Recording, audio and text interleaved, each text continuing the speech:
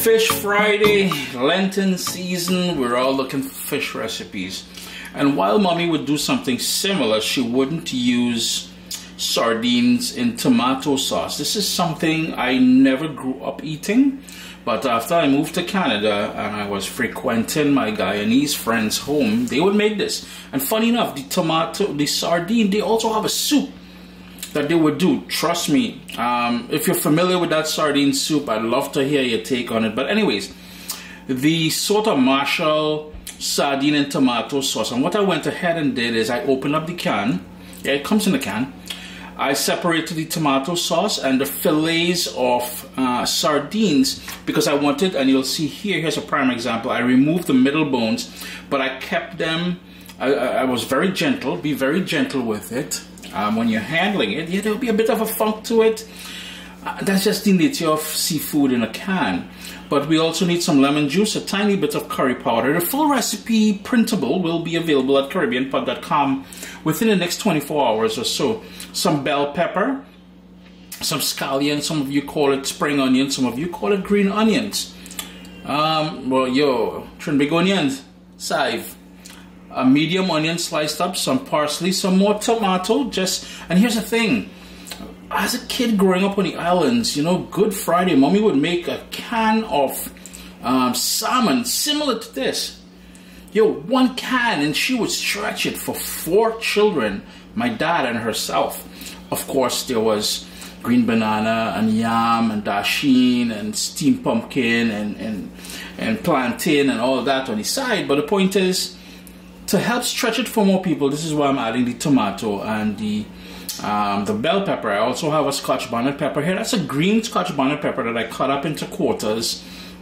And I'll explain later why I cut it up into quarters and why I chose a green one. Some black pepper. I'm going to be using some coconut oil and some salt. And that's it. Now, if you wanted to add more things, if you wanted to add some cabbage in here, some zucchini, um, anything along those lines, any sort of vegetable, you can add it. Totally up to you. I've got a tablespoon of coconut oil, medium flame. In goes the onion, bell pepper, scallion, the scotch bonnet pepper. And the reason why I like using a green scotch bonnet pepper is because I get a ton of flavor from it without that raw heat. The green one simply means it's not fully mature yet so you don't get that that massive kick when you uh, when you add it to dishes. Some fresh thyme, and of course that tiny bit of curry powder. Again, the full recipe will be in its printable format at CaribbeanPot.com. I'm going to turn my heat down to medium low because I don't want to burn anything. If you wanted to add some garlic in here, proper thing. I'm going to hit that a stir just to make sure everything gets in contact with that hot oil. We incorporate all those flavors. And on that sort of medium-low heat, we're going to cook this for about three minutes just to soften up everything.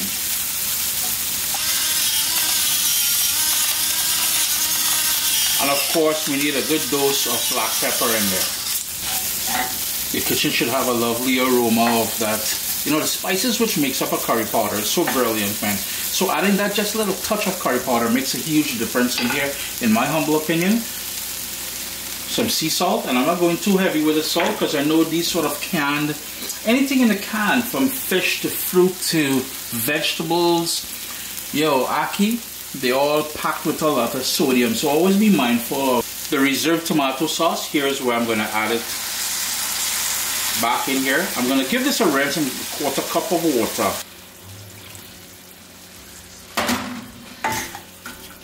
I'm to turn up my heat just a little bit just to bring this up to a boil.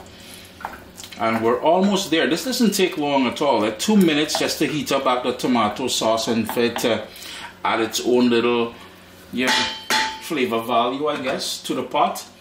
At this point, we're just gonna, again, bring it up back up to a sort of a simmer, give it about two or three minutes, and then I want to maintain the sort of integrity of the tomato. So I'm gonna tuck the tomato in there, give it about a minute or so. I don't want it to melt out too much. And if you wanted to add some julienne carrots in here, you could have started off with some julienne carrots as well too. Totally up to you what you add in here, but I'm just giving you the basics as it was taught to me by my Guyanese friend. Here's where now I'm just going to tuck in the tomato. Let them soften up a little bit and the acidity will bring a lovely balance to everything here, yeah? I'm putting a ton of tomato because I love tomato, but you can hold back. And this is why if you add, I'm just gonna clean up just a little bit. If you add some crushed garlic in here, that tomato and garlic and the onion, everything goes together. And give that a little shaky shake. And yo, again, we're almost done. What we're gonna do next is tuck in the pieces of uh, sardine in there. You can crush it, but I much prefer it whole. And you can enjoy this with, you know, like I said, ground provision, even boiled green banana if you want dumpling, rice, um, roti, totally up to you. My favorite, boil and fry cassava and this, or steam rice. And I good. I good. Hit that another quick little stir. I'm trying to be gentle, but you know, if you wanted to mash things up and add some more water, get more gravy, it's totally up to you, yeah? This is why we have so much going on here. My friends, the fillets of sardines, just be very gentle. Tuck them into that sauce, just like so. And then we're gonna allow that to heat through. We're gonna hit that a bit of lemon juice, some parsley, and then, yo, properly done. What I would do at this point, after I tuck it in there, I'm gonna scoop some of the sauce on onto everything be sure to scrape all that juice down in there. And I'm going to put the lid on it just to allow it to heat all the way through. Give that a nice little shake, shake. In goes that lemon juice.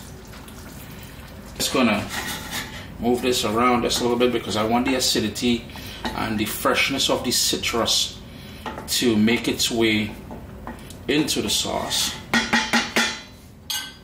And of course, the parsley I spoke about, I'm going to mix that in as well. But you all understand what's going on here, right? Sub soldiers, listen, if you enjoy this recipe, I'd really appreciate it if you hit subscribe and click that bell notification thing. If you've made the recipe, take a picture and send it to me, email address down here. I mean, trying to tell people the email address, then butts will take the address and do all kind of thing with it. And tag me on Instagram at Caribbean Pot. I really appreciate you guys and thanks for being in my kitchen with me today. Irene, Irene. And you all saw how easy that was, yeah? Chris here, CaribbeanPot.com. Always a pleasure having you all in the kitchen with me. Just gonna make sure that parsley get into contact with everything too because that adds a lovely flavor as well, believe it or not.